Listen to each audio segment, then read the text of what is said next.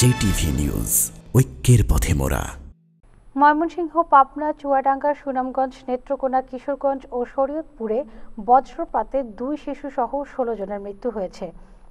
এতে আহত হয়েছে শিশুসহ আরও দুইজন শনিবার সকাল থেকে বিকেলের মধ্যে এসব মৃত্যুর ঘটনা ঘটে।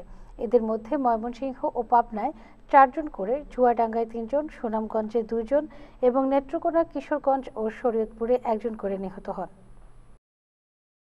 দেশ বিদেশের প্রতিটি সংবাদ সবার আগে পেতে সাবস্ক্রাইব করুন আমাদের চ্যানেলে আর ক্লিক করুন পাশে থাকা বেল আইকনটিতে।